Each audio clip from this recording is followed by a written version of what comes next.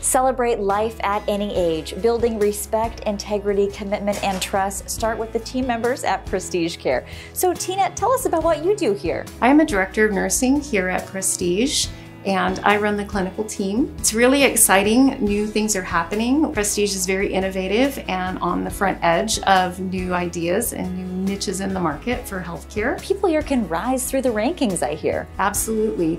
We have a great program. We believe in, in promoting from within, especially, for instance, if we had a CNA that would like to go to nursing school, we do have loan forgiveness in our programs.